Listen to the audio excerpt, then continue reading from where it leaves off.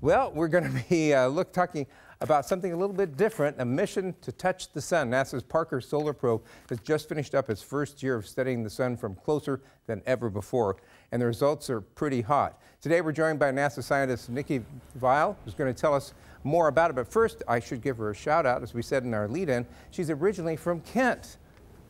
Good to see. Good to see you. That's right. I'm from Kent, Washington. Well, it makes sense. Being from the Northwest, you might have been drawn to studying the sun but you didn't see much of it growing up, probably. well, what, that's right. Weather-wise, uh, I want to ask you, so the probe has come the closest to the sun of any man-made object, and how close is it now, and how close is it going to get over the course of its mission? Well, already Parker Solar Probe has gone closer than the orbit of Mercury, so that's pretty close.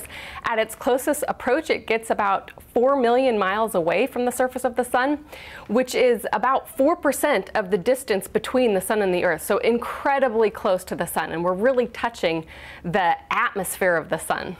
So, I mean, it's, it's how hot is it there, and how does it survive that heat? So the solar corona, the atmosphere of the sun, is millions of degrees hot, which is actually really surprising because the photosphere, the visible surface of the sun, is only 6,000 degrees. That's one of the questions Parker Solar Probe is trying to answer. Uh, the heat shield is what actually protects Parker Solar Probe. It's not actually the heat from the solar atmosphere, it's the radiation, it's the sun's light that we have to protect the instruments from. So the heat shield is four inches thick, made of carbon foam, and it keeps those instruments at about room temperature. That's, that's pretty amazing. Well, it's giving us a lot of new information about the solar wind, which spreads out and surrounds the Earth. Why is that important to us living on the surface of the Earth? So Earth's atmosphere and Earth's magnetic field protect us from the gas and magnetized uh, material that comes off the sun all the time and fills the solar system. But the big explosions on the sun uh, coronal mass ejections and solar flares can interfere with our power grids, with our GPS, with our ionosphere.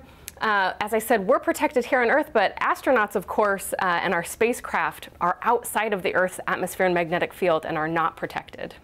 Wow, that's pretty interesting. And just one last real quick question. How could this affect human spaceflight in the future, though, on those long missions?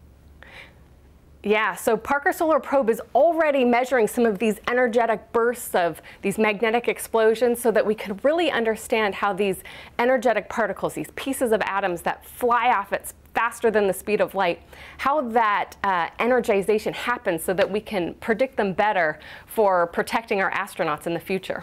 Uh, pretty interesting stuff. Well, thank you very much for joining us this morning, and uh, hopefully some of your relatives here seeing you on King 5. Have a good afternoon. Thanks.